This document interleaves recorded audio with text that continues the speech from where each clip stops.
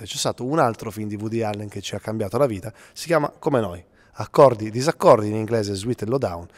Lì c'è Sean Penn che interpreta una specie di Django, una caricatura di Django, lui diceva sempre io sono il più bravo chitarrista del mondo, ma dopo uno zingaro francese che suona soltanto con due dita e mi batte in tutto, questo era il grande Django ovviamente, vedendo questo film si possono ascoltare tutti i brani più importanti della discografia di Django, insomma ci siamo letteralmente innamorati del genere e da lì abbiamo incominciato a suonare insieme.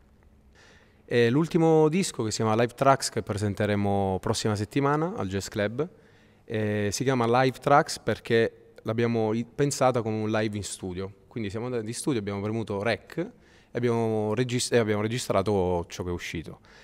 E rispetto agli altri dischi abbiamo detto proviamo a fare qualcosa di diverso e chiamiamo eh, a collaborare con noi tutti, cioè non tutti, o gran parte dei musicisti, colleghi e amici che in questi anni hanno suonato con noi. Ehm, quindi trovarsi senza percussioni sicuramente interessante, è stato stranissimo ho dovuto imparare una tecnica nuova di, di suonare, leggermente diversa. E... La maggior parte dei brani li ha scritti Alessandro, nei, proprio nei viaggi che noi abbiamo, che abbiamo fatto. E a me piace pensare che i brani di accordi siano proprio il riassunto del, di questo viaggio che abbiamo intrapreso qualche anno fa e che sta continuando adesso eh, con le varie tappe.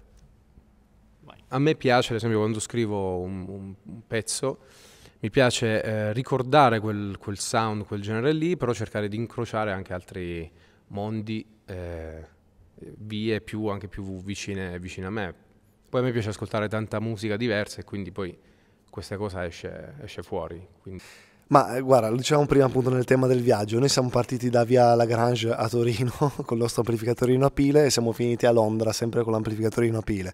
Abbiamo suonato lì e poi per una serie di di, di eventi, insomma, ci siamo evoluti e abbiamo iniziato a, prendere, a trovare date insomma, locali, piccoli festival con un contrabbassista col quale suonavamo londinese, quindi abbiamo lavorato in Inghilterra, abbiamo lavorato in Italia, abbiamo lavorato in tanti paesi.